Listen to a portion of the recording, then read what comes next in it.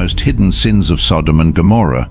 This story begins with two cities in the book of Genesis during the time of Abraham. The destruction of Sodom and Gomorrah started with a revelation that the sin in these cities had become so great that it reached the heavens. The Lord said that the outcry from Sodom and Gomorrah was indeed great, and their sin was exceedingly grave Genesis 18.20. This verse highlights the difference between knowing something and witnessing it firsthand. For example, God knows how much we honor and love him, but he wants us to show it through our actions and service. Similarly, the conversation between God and Abraham about justice is not because God needs to be reminded to do what is right, it's more about Abraham understanding the nature of justice. The verse emphasizes that the outcry against the sins of Sodom and Gomorrah prompted God's response, highlighting the importance of actions and their visible impact. Imagine a time before the birth of the much-awaited son of Isaac. Abraham, known for his unwavering faith and exceptional hospitality, presents a contrast to the residents of Sodom and Gomorrah. His life shines as an example of hope and kindness, surrounded by cities full of selfishness and wickedness. Abraham's prayer for the cities. As we get to the main part of the story, we encounter a crucial moment. God made a special promise to Abraham a pact that would shape the destinies of many. At that time, God informed Abraham about his plan to destroy Sodom and Gomorrah due to their extreme behavior. However, Abraham, always acting as a mediator, pleaded with God on behalf of the good people living among the wrongdoers in those cities. His plea was not just a simple request, it was the heartfelt appeal of a prophet who deeply cared for the well-being of others, even strangers. Approaching the Lord, Abraham asked, Will you truly sweep away the innocent along with the guilty Genesis 18.23? Abraham's discussion with God mirrors an ancient belief where individuals were often viewed as part of a larger group, like a family or a community, rather than as separate beings. If one person made a mistake, the entire group could suffer consequences. This concept can also be found in other ancient writings like the plea for mercy in the Epic of Gilgamesh, where leaders pray for only the guilty to face punishment, not the blameless. Abraham's plea for Sodom follows a similar pattern he was requesting God to spare the city if there were enough good people, emphasizing the importance of personal accountability over group punishment. This demonstrates an early understanding of personal responsibility and community unity. The wealth and corruption of Sodom and Gomorrah. Sodom and Gomorrah were very wealthy cities, but they became blinded by their riches and corrupt ways. The people that were so focused on their own pleasures that they didn't see the impending disaster. In contrast, Abraham, a righteous man, stood out. He tried to rescue any good souls living in those cities. This isn't just about the punishment that befell Sodom and Gomorrah, it's also about kindness, empathy, and the impact of standing up for others, showing us the significant difference one person can make by choosing to aid others, even when it seems tough. As the narrative progresses, we encounter the key figures residing in these cities. Their lives are shaped by the choices they make, with each decision influencing their fate. It's not just about the past events, it's like a reflection of our own lives and the world around us. This tale strongly hints at future events and serves as a reminder that our actions can have irreversible consequences, affecting many aspects of our lives and those around us. The emergence of sin. The wrongdoing of Sodom and Gomorrah has sparked numerous discussions and interpretations. Traditional perspectives commonly highlight lust and moral decay as the key sins, as seen in how the city's residents treated the visiting angels. Various interpretations converge on the idea that the sins of these cities were multifaceted encompassing not only sexual misconduct, but also a disregard for the well-being and dignity of others. Accounts in Genesis 19 and other biblical texts, like 2 Peter and Jude reveal a consistent pattern of harmful and unlawful behaviors that adversely impacted innocent individuals. So what precisely were these transgressions? The primary sins of Sodom and Gomorrah were a blend of issues such as sexual immorality, inhospitality, arrogance, and brutality. Amidst these, one particular sin stands out, often overshadowed. By the conclusion, you will grasp its significance. In Genesis 19, the men of Sodom exhibited inhospitality alongside aggressive intentions towards Lot's visitors. However, the true nature of these events is more nuanced. The arrival of the divine messengers. As night descended upon the renowned cities of Sodom and Gomorrah, celestial beings visited, appearing as regular men with a hint of something divine the inhabitants of Sodom, kin to Abraham, swiftly discerned the special nature of these guests. In those times, hosting visitors wasn't just a courtesy but a significant duty. Acknowledging this, Lot invited them to stay at his home. The response of the city dwellers to these visitors was swift and telling. A crowd gathered, driven by a blend of curiosity and sinister intentions. The environment in Sodom and Gomorrah was tumultuous and disrespectful, particularly towards the guests and Lot's hospitality. The zealous and persistent conduct of the crowd illustrated the city's severe moral decline. This moment unveiled the true character of Sodom and Gomorrah. A biblical account, notably in Genesis 19, portrays the escalating tension between Lot's protective hospitality and the city's hostile intentions. This clash set the scene for the impending divine judgment. The men of Sodom, both young and old, demanded the guests be handed over to them for carnal purposes, but before they lay down, the men of the city, the men of Sodom, both young and old, all the people to the last man, surrounded the house. And they called to Lot, Where are the men who came to you tonight? Bring them out to us, that we may know them. Genesis 19.4.5 There was extreme wickedness in Sodom, where the city's people, instead of showing hospitality, demanded sexual relations to assault the visitors. This act violated strong customs of protecting guests in ancient societies. Lot offered his daughters to protect his guests. Although this act was not consummated, it showed his commitment to protecting his guests. Divine intervention striking the aggressors with blindness prevented the attack and highlighted the seriousness of the situation. This passage reveals the depth of moral corruption in Sodom and the importance of hospitality in ancient cultures. Expanding our understanding, Ezekiel 16 provides further insight, shedding light on additional grave transgressions. Behold, this was the iniquity of your sister Sodom. She and her daughters surrounding cities had pride, more than enough food, and careless ease. Yet she did not aid the poor and needy. They were arrogant and committed abominations before me, therefore I removed them when I saw it. These verses underscore the presence of pride, indifference, and neglect towards the most vulnerable as part of their wrongdoings. In the scriptures, the Hebrew term often translated as abominations is employed to depict morally repugnant acts. Discourse on the primary sin of Sodom and Gomorrah varies. Some posit that it primarily revolved around inhospitality towards guests and violating significant cultural norms. Others view the narrative as a portrayal of a series of severe ethical issues encompassing immoral sexual conduct, excessive arrogance, and neglecting the needs of the less fortunate, revealing the hospitality of darkness. Imagine a scene where two angels disguised as ordinary men enter the notorious cities of Sodom and Gomorrah. Here, the first lesson reveals that a society's character is often reflected in its hospitality. It was already night when the two angels came to Sodom.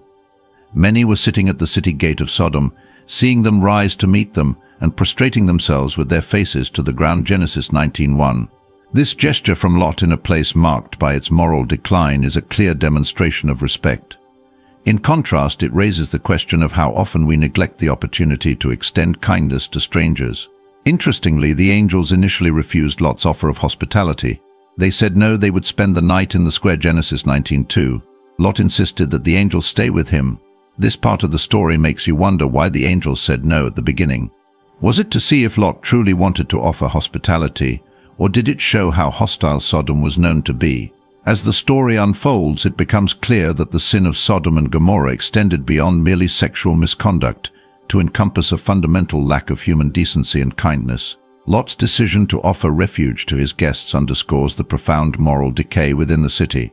In a place where hospitality was scarce and strangers were met with hostility, Lot's compassionate actions shone brightly as a commendable example. This tale prompts us to consider our treatment of unfamiliar faces in our midst. Are we akin to Lot, extending a hand of shelter and care, or do we embody the inhospitable ethos of Sodom and Gomorrah? Our attitudes towards the most vulnerable members of society often reveal the core values that underpin our communities. The intervention of the angels plays a crucial role, shielding Lot's family from the angry mob and forewarning them of the impending destruction of the city.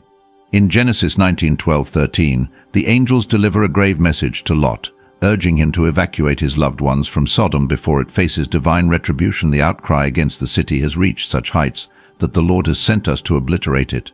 Do you have any family here? Sons-in-law, sons. Daughters, gather them and escape this place. This declaration sets the scene for a tense narrative of urgency and flight. Lot, the nephew of Abraham, resides in Sodom, and the angels urgently direct him to gather his kin and flee the city. The urgency is palpable in Genesis 19.15 as the angels implore Lot to hasten his departure as dawn approaches. Take your wife and daughters from here to avoid the city's impending punishment as the story unfolds, the countdown to the destruction of Sodom and Gomorrah commences. With the break of dawn, the hour of reckoning for these cities draws near, symbolizing a momentous event in history that foreshadows a grander judgment to come. The urgency of escape. When the angels issued the warning of impending destruction, a sense of urgency gripped the situation. Lot was instructed to swiftly gather his family and depart without delay as the city stood on the brink of divine judgment. However, convincing his family to leave proved to be a challenge. Lot's hesitancy to act promptly was evident, and his sons-in-law dismissed the danger as a jest. The escape was no leisurely stroll but a frantic race against time. The gravity of the situation crystallized as they were led outside, with one of the angels urgently proclaiming escape for your life. Do not look back or linger in the valley. Flee to the mountains, lest you be consumed Genesis 1917. The family's flight was underscored by a profound urgency and urgent transition from the familiar to the unfamiliar, from comfort to survival. As they fled, the cities they left behind succumbed to destruction, then the Lord rained down sulfur and fire on Sodom and Gomorrah from the Lord in the heavens. He overthrew those cities and all the valley, along with all the inhabitants of the cities and the vegetation on the ground. Genesis 19:24-25. This cataclysmic event transcended mere natural disaster, it epitomized divine retribution. A striking image of cities consumed by fire and sulfur serves as a stark reminder of the repercussions of moral decay and defiance. Lot's preservation, amidst the city's ruin, was a result of Abraham's intervention. While the cities met their fate due to their wickedness, Lot was spared as an act of mercy towards Abraham, as recounted in Genesis 19:29, when God destroyed the cities of the plain he remembered Abraham and rescued Lot from the midst of the catastrophe that overtook the cities where Lot dwelt.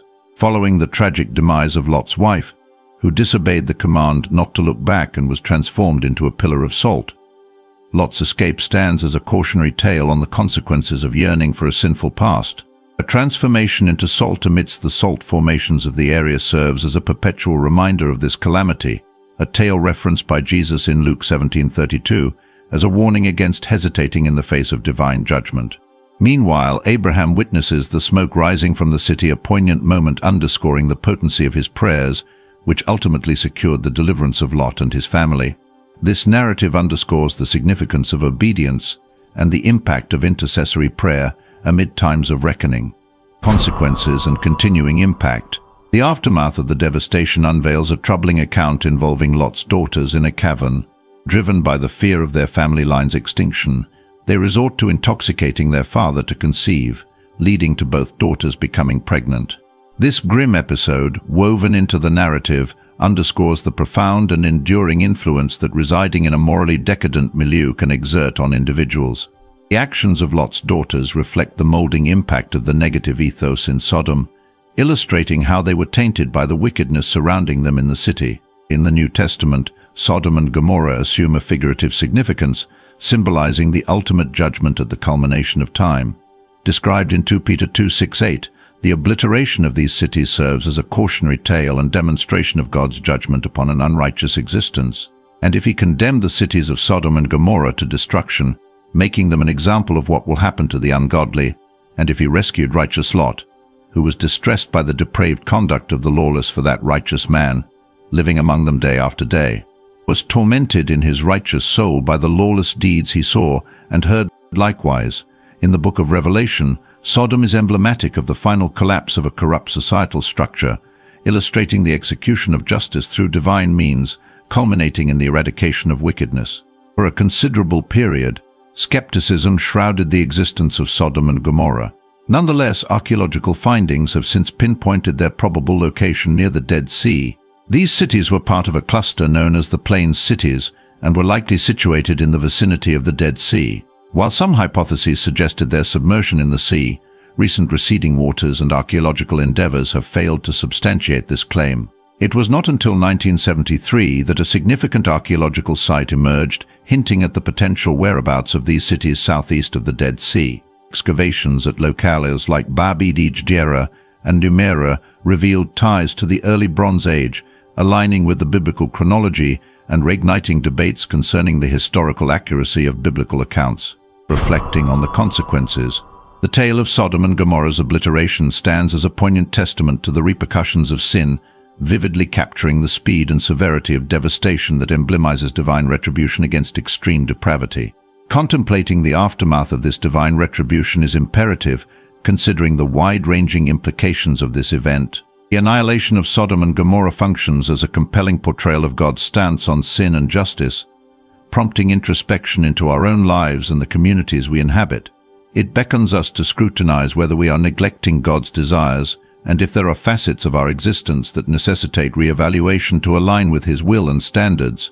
Drawing parallels between the narrative of Sodom and Gomorrah and contemporary society can be thought-provoking. Jude 1.5 underscores the destruction of these cities as a stark reminder of divine judgment against profound moral deterioration.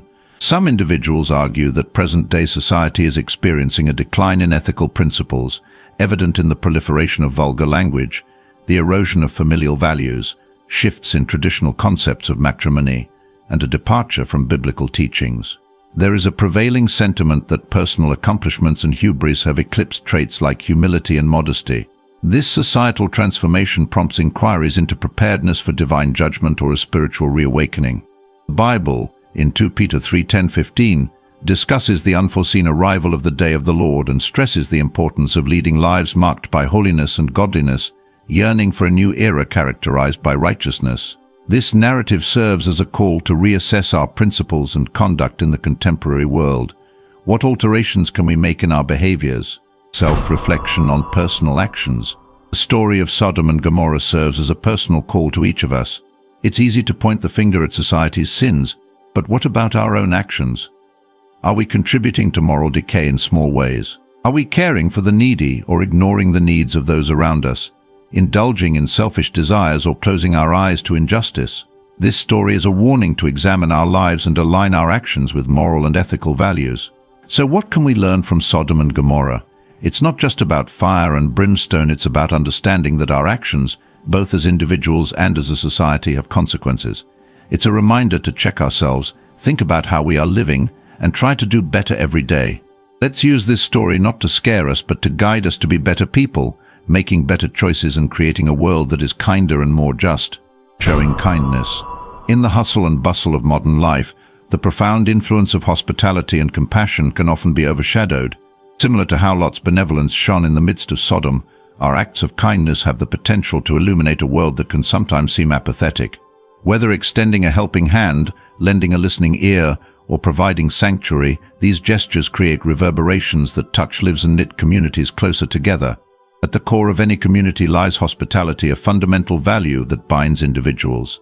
The narrative of Sodom and Gomorrah imparts a crucial lesson the ethical vitality of a community is reflected in its treatment of guests and vulnerable members. Unlike the callousness of Sodom, hospitality signifies a spirit oriented towards the welfare of others, but he insisted so strongly that they did not go home with him, they turned aside to his house, and he prepared a feast for them, baking bread without yeast, and they ate Genesis 19.3. Embracing God's warnings. Biblical account of Sodom and Gomorrah serves as a compelling tale illustrating the outcomes of disregarding divine admonitions. Yet how does this narrative impart lessons on the significance of being open to guidance and nurturing spirituality in our everyday lives? Bracing divine counsel can manifest diversely whether it involves heeding the gentle whispers of our conscience during decision-making, valuing the counsel of those with greater wisdom, or internalizing the insights gleaned from past encounters. It entails being cognizant of the repercussions of our actions on both ourselves and others, and endeavoring to lead a life characterized by integrity and fairness, examining the personas within the narrative and their responses to God's warnings, we witness the angels forewarning Lot about the impending ruin of Sodom and Gomorrah. Lot's reaction is swift, he comprehends the gravity of the situation and takes prompt action. This pivotal juncture underscores the significance of adhering to divine guidance. How does this tale resonate in our modern existence? In our frenzied contemporary milieu, it is all too easy to be engulfed by material pursuits and overlook our spiritual welfare. The tale of Sodom and Gomorrah serves as a gentle nudge for us to remain spiritually attuned and heed the guidance that comes our way, be it through our conscience, sacred texts, or life's lessons. Spiritual acumen transcends mere religious rituals. It entails attunement to the moral and ethical implications of our deeds. It involves recognizing the signs and admonitions in our lives and taking proactive measures to align ourselves with the path of righteousness and empathy, resisting moral decay. Initiating the resistance against moral decline commences with self-awareness. It necessitates a continual introspection of our deeds and motivations, prompting us to evaluate whether our contributions to the community are positive. Tangible measures encompass engaging in volunteer work and maintaining a conscientious approach to consumption. It revolves around embracing a lifestyle that prioritizes empathy and benevolence over self-centeredness and apathy. Advocating for the upholding of moral principles extends beyond mere words. It entails setting a precedent through actions. It involves fostering an environment that esteems and celebrates integrity, transparency, and empathy. This can be achieved by assuming responsibility for our conduct, making principled decisions, and advocating for righteousness, even in challenging circumstances. Individual decisions wield a profound influence on society. The Bible cautions you as do not be deceived, God cannot be mocked. A man reaps what he sows, Galatians 6-7. This underscores the notion that our actions, whether virtuous or malevolent, bear repercussions. By opting for a life guided by integrity, we contribute to the cultivation of a more equitable and compassionate society. Conversely, disregarding our moral compass fuels its erosion, staying spiritually aware. A pivotal insight gleaned from the narrative of Sodom and Gomorrah underscores the significance of maintaining spiritual acuity. Abraham, a central figure, exemplifies this principle upon learning of the impending obliteration of the city. Instead of passively acquiescing, he engages in a dialogue with God, seeking understanding and petitioning for divine intervention. This underscores his vigilance and aspiration to align with God's will. In today's context, this translates to a continual quest for a meaningful connection with God in our daily routines. It entails transcending rote religious practices to grasp the underlying meanings and principles they embody. By doing so, we equip ourselves to make well-informed and ethically sound decisions that resonate with our beliefs. Advocating for a deeper spiritual bond is not solely about personal tranquility, it pertains to cultivating a society that upholds moral precepts and ethical benchmarks. The inhabitants of Sodom and Gomorrah lacked this spiritual connection, precipitating their eventual downfall. Now the men of Sodom were wicked and were sinning greatly against the Lord, shamelessly flaunting their sin before him. Genesis 13:13. This estrangement from spiritual guidance catalyzed societal degradation. What relevance does this hold for us today? By nurturing a profound connection with our faith and divinity, we can cultivate a moral compass to navigate the intricacies of contemporary existence. It involves seeking guidance from faith to address present-day challenges and personal ethical quandaries, benefits of a spiritually grounded life. It is essential to underscore the advantages of leading a spiritually anchored life in today's society. The narrative of Sodom and Gomorrah stands as a cautionary tale, a stark reminder of the consequences that can transpire when a community collectively veers away from spirituality and core principles. Conversely, a life rooted in spirituality yields manifold rewards. It imparts a sense of direction, assists in navigating ethical dilemmas, and fosters a communal ethos founded on shared beliefs and mutual regard. For instance, the biblical injunction to love one's neighbor serves as a guiding principle that can shape our interactions, fostering benevolence, compassion and comprehension in a world often fraught with division and discord. Love your neighbor as yourself Galatians 5.14. This exemplifies the direct application of spiritual precepts in our daily lives. In summation, when viewed through the perspective of seeking divine counsel, the narrative of Sodom and Gomorrah imparts profound insights for contemporary society. By cultivating spiritual awareness, deepening our bond with faith, and reaping the benefits of a spiritually grounded existence, we not only enhance our personal journeys but also contribute to the cultivation of a more equitable, empathetic and principled society. Let us embark on this voyage of faith with open hearts and receptive minds. Let us pray. Heavenly Father, as we assemble in your divine presence today, we present to you the chronicles of Sodom and Gomorrah ancient cities once flourishing in prosperity, but ultimately crumbling beneath the weight of concealed transgressions. O Lord, enlighten our hearts and minds as we contemplate the wisdom gained from their downfall. Pardon us, God, for the instances when we have yielded to sin akin to the inhabitants of Sodom and Gomorrah. Acknowledge that at times in our pursuit of success in this life we may lose sight of the moral compass you have bestowed upon us. Grant us the vision to discern that material wealth and achievements do not define our true value. Teach us to differentiate between genuine success arising from your blessings and the illusory allure of excess, which may lead us astray. May we find contentment in your love and benevolence, recognizing that authentic riches stem from a heart aligned with your divine plan. Lord, we acknowledge the clandestine whispers of sin that may linger within us. Illuminate those concealed recesses where we harbor thoughts, deeds, and motives contrary to your sacred decree. Grant us the fortitude to confront and conquer these transgressions, empowering us to walk in the radiance of your truth. We implore for courage akin to Lot, who led a righteous life amidst a community engulfed in wickedness. In our daily endeavors, when confronted with temptations that could lure us astray, endow us with the resilience to remain steadfast in choosing the path of righteousness. Assist us, God, in evading enticements that seek to ensnare us and divert us from the course you have charted for us. Lord, when malevolent influences seek to drown out your voice within our souls, bestow upon us the discernment to heed your divine counsel. Shield us from pernicious forces that exploit our hidden desires and beckon us towards temptation. Strengthen our resolve to uphold what is right, even amidst adversity and trials. As we navigate the complexities of our contemporary world, Guide us to embrace the divine guidance you extend, that we may heed your admonitions and discern the repercussions of our actions before it is too late. Just as you rescued Lot and his kin, liberate us from the snares of concealed transgressions and steer us towards the path of redemption. Lord, we beseech your aid for our families, communities, and societies. In these challenging times may we exemplify virtuous conduct, disseminating kindness and empathy. Grant us the insight to identify and address the afflictions plaguing our neighborhoods and empower us to effect positive change. Father, we humbly seek your counsel in applying the enduring lessons derived from the covert sins of Sodom and Gomorrah to our contemporary lives. As we ponder and reflect, renew our spirits, fortify us, and bestow upon us the grace to live in accordance with your divine decree. We offer this prayer in the name of your Son, Jesus Christ, our Redeemer. Amen. Question.